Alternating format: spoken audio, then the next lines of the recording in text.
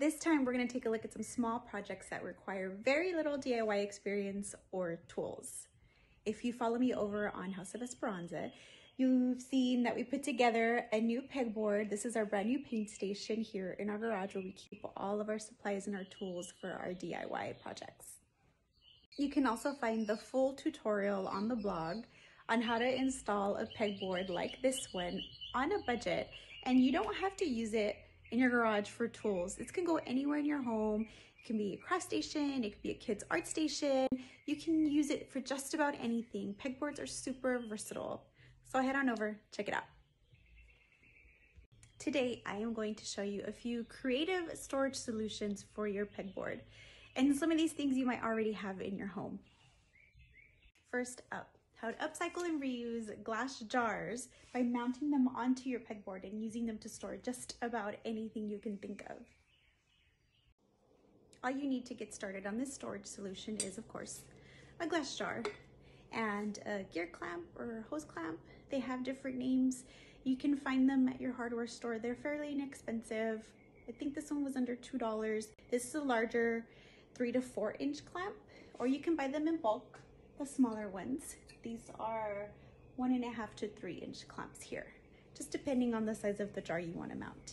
And although it's not necessary, a drill will help in this situation just to drive your screw through that metal clamp. You could certainly use a screwdriver, you'll just need a little bit of muscle. I'm gonna start by picking out the location on the pegboard of where I want the hose clamp to sit. And I already have these installed on this side, so I'm just gonna line them up so they can be symmetrical. right here.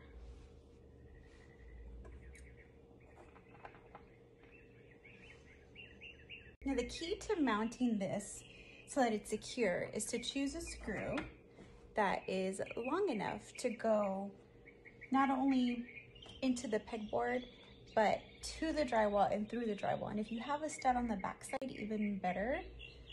But these held up pretty good by just using a screw long enough to go through the drywall on the back side. Might be a little tricky to get started, but once you get it going,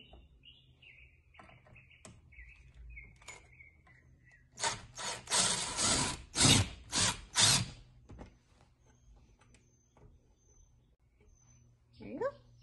Hose clamp is up. I like to use the big jar for my big stir sticks for my gallon feet. So that's what's gonna go here. We're gonna slide this up. And then a flathead screwdriver will tighten the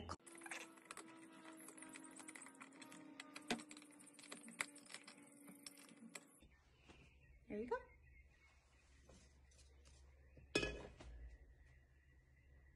Let's do another one.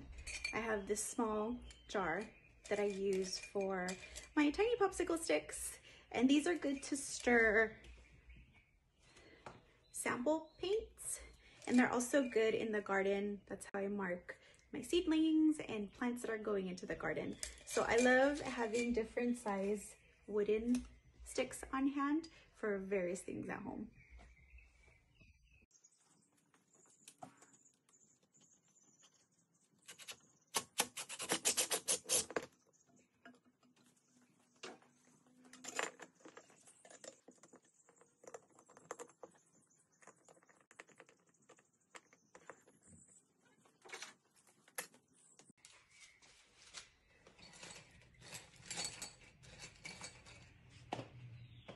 And now all my sticks and tiny paintbrushes are organized.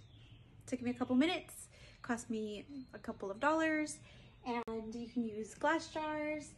This is an old pickle jar. You can use cans. You can use just about anything that you have laying around the house.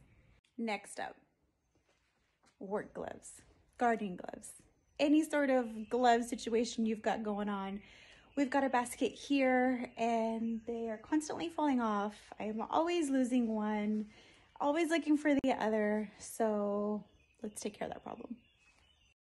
For this one, all you need is a giant binder clip, paper clip, bulldog clip, clamp thing, various names. You can find them in packs or in singles at an office supply store, Target, online. I happen to have this one in the house. You take your gloves, make sure that they're partnered up, clamp them together. You have your pegboard hook, right? That's it. Now my gloves are together.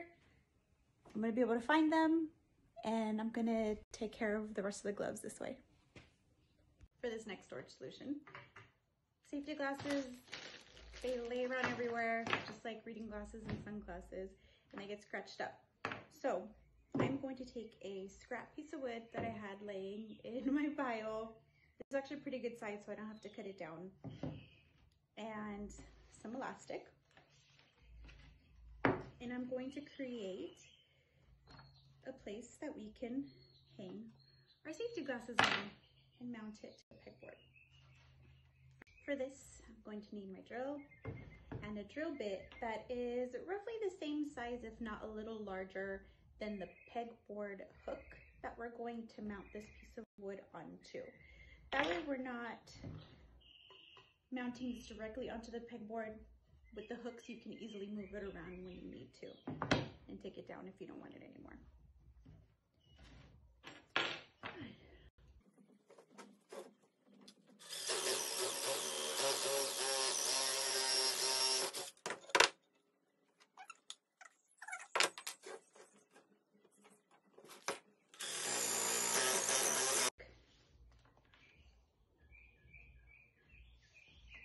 You could just wrap it around and tie a knot on the back so that it was secure. I think I'm gonna use my stapler to make sure that it's nice.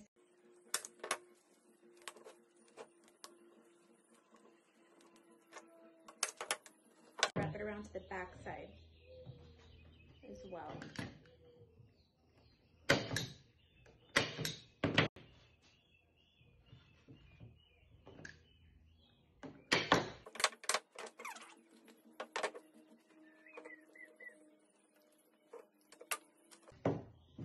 That's it.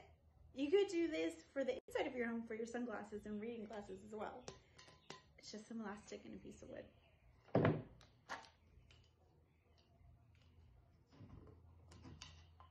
Ta-da! Here's what it looks like mounted onto the peg hooks. And I like that you can just take it off, put it back on, move it around when you need to rearrange things. Take your glasses, slide them right onto the elastic. And now the glasses have a home.